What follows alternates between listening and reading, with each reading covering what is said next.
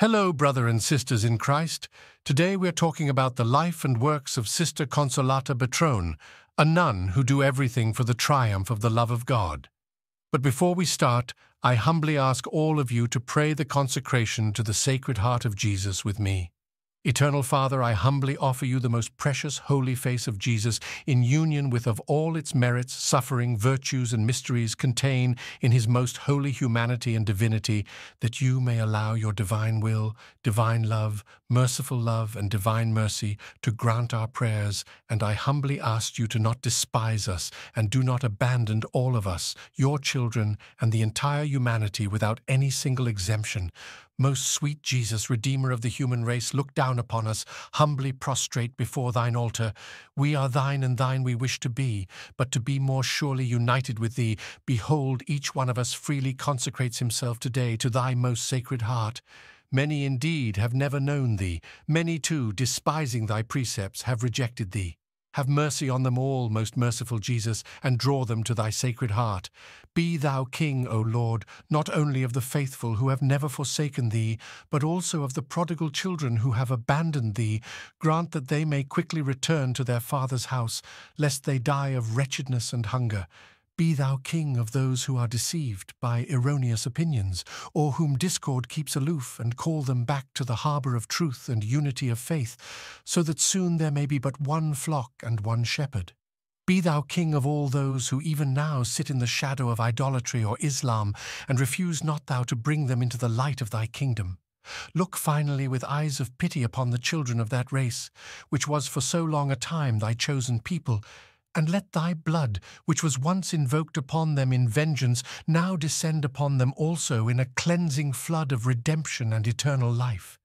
Grant, O Lord, to thy church assurance of freedom and immunity from harm. Give peace and order to all nations, and make the earth resound from pole to pole with one cry Praise to the divine heart that wrought our salvation. To it be glory and honour forever. Amen. Sister Consolata Betrone was born in Saluzzo, Italy on April 6, 1903, and was named Pierina Lorenzina Giovanna Betrone. She was the daughter of Pietro Betrone and Giuseppina Nirino, who were the owners of a bakery in Saluzzo who later became managers of a restaurant in Airasca, Turin. Pierina was the second of six daughters born of her father's second marriage. Nothing in the early life and background could foretell that this young girl would become one of Jesus's beloved victim souls. She seemed to live a normal childhood up until the age of 13, when one remarkable day our Lord cast his loving gaze upon her. It so happened that while she was hurrying to do her errands in the village, when unexpectedly an intense prayer suddenly came forth from her heart, My God, I love you and the unusual spiritual fervor overcame her. It was the beginning of her extraordinary experiences with the Lord. On December 8, 1916, which was the feast of the Immaculate Conception, Pierina dedicated herself to the Virgin. After receiving Holy Communion, she distinctly heard within her the words, Do you want to be mine? Deeply moved by this extraordinary grace, she wept with tears of emotion, and without understanding the extent of the question, she replied, yes to Jesus, entrusting herself to him. As the weeks and months progressed, Pierina began to feel God calling her to the religious life.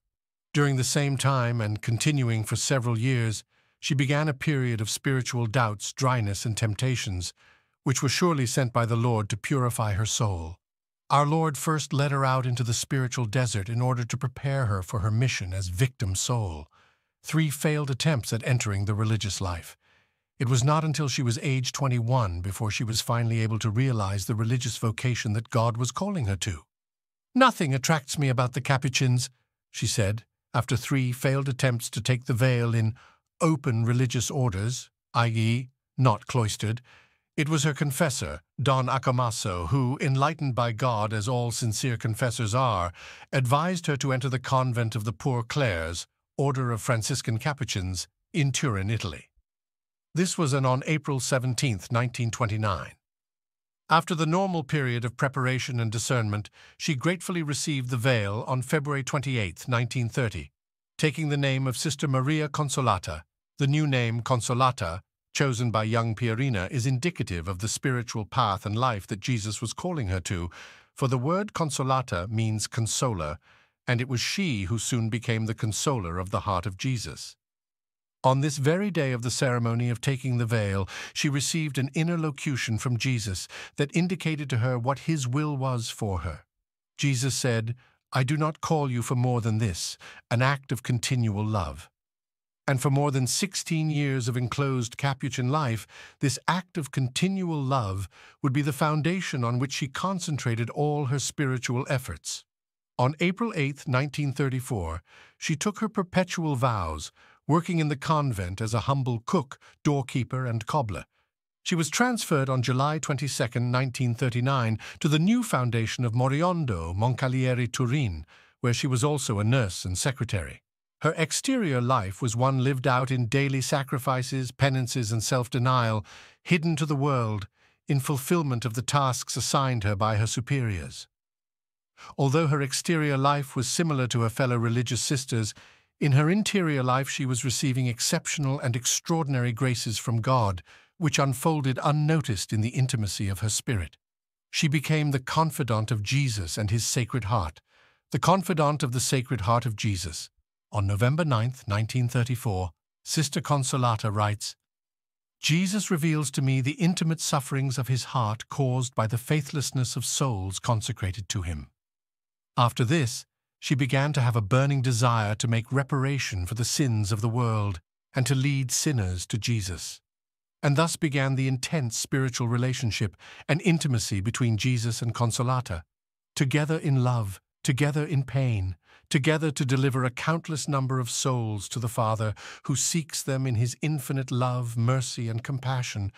After all, it was the Lord himself who told her, do not think of me as a harsh God, because I am foremost the God of love.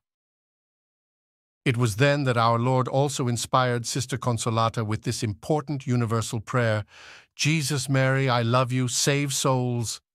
Remembering what Jesus had told her on the day that she took the veil, I do not call you for more than this act of continual love. Sister Consolata began to thus repeat this one prayer over and over again during all her waking hours, in every form of work, as she went about her daily duties. For it was Christ himself who instructed her in the practice of what he called the unceasing act of love expressed in the words, Jesus, Mary, I love you, save souls. Concerning this prayer, our Lord said, Tell me, what more beautiful prayer do you want to offer me? Jesus, Mary, I love you, save souls love and souls, what more beautiful prayer could you desire? Her littleness and humility. Though Sister Consolata was blessed with these extraordinary interior enlightenments by God, she remained very humble and still felt small, and she saw herself as the even smaller one which Saint Therese of Lisieux had referred to in her diary. This feeling of littleness that Consolata felt within her soul was confirmed by our Lord in the following words. I have found that still weaker soul who has abandoned herself with complete faith to my infinite mercy. It is you, Consolata, and through you I will perform marvels which will far exceed your fondest desires.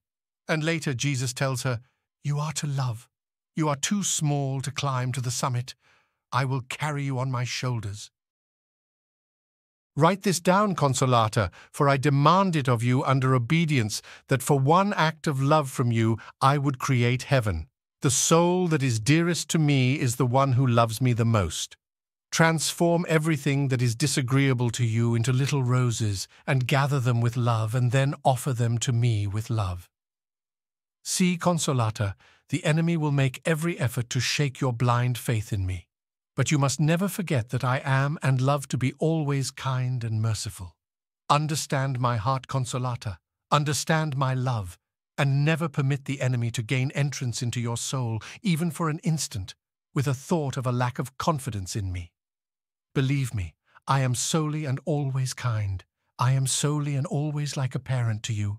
So imitate the children who at every little scratch of the finger run at once to mother to have it bandaged, you should always do the same and remember that I will always cancel out and repair your imperfections and faults, just as a mother will always bandage the child's finger, whether it is really hurt or only seems so in his imagination. And if the child were to really hurt his arm or his head, how tenderly and affectionately would he be cared for and bandaged by the mother? Well, I do this very same thing with regard to your soul when you fall, even though I may do so in silence. Do you understand, Consolata? Therefore, never, never, never have even a shadow of doubt. A lack of confidence wounds my heart to the quick and makes me suffer. Love me and you will be happy, and the more you love me, the happier you will be.